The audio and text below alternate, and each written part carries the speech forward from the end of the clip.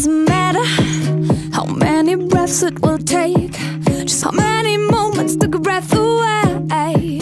And it doesn't matter how many times you cried, just how many reasons you find to smile.